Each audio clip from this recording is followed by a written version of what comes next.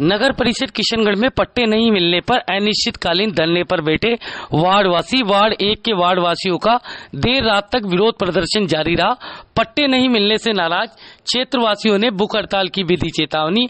बता दें 500 से अधिक लोगों की नौ माह से लगी हुई है फाइलें। अधिकारियों ने जोनल प्लान पास नहीं होने की कही बात। बिस्तर लेकर देर रात पहुँचे परिषद के बाहर, वार्डवासी, वार्डवासियों का देर रात तक नगर परिषद किशनगढ़ के बाहर धरना प्रदर्शन जारी।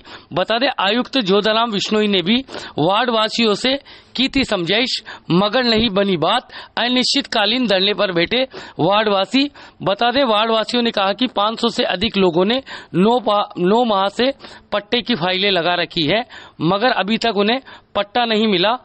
लोगों का कहना है कि उनकी कॉलोनी करीब 25 से 26 साल पुरानी है। फिर भी उन लोगों को आज तक पट्टा नहीं मिला।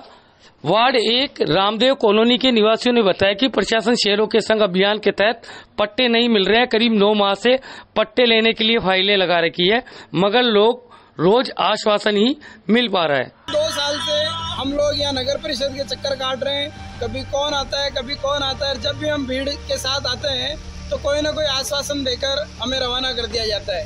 लेकिन अब आश्वासन से नहीं मानने वाले हम। अब याचना नहीं होगी। अब अगर इसी तरह रहेगा तो आने वाले विधानसभा चुनाव में आने वाले विधानसभा चुनाव में हम ईट से ईट बजा देंगे।